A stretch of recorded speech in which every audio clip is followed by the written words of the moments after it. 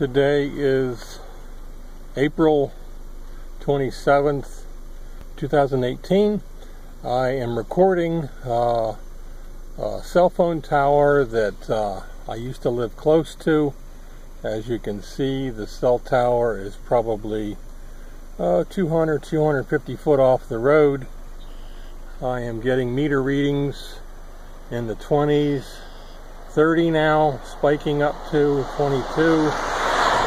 And uh, it mentions Wi-Fi and microwave on the screen.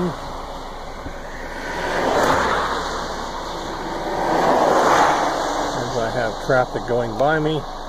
Uh, you can see that this is jumping all over the place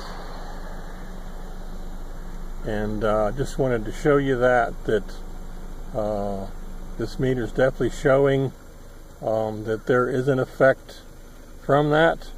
I will point it down to the ground and you can see it's uh, 1.7 down below.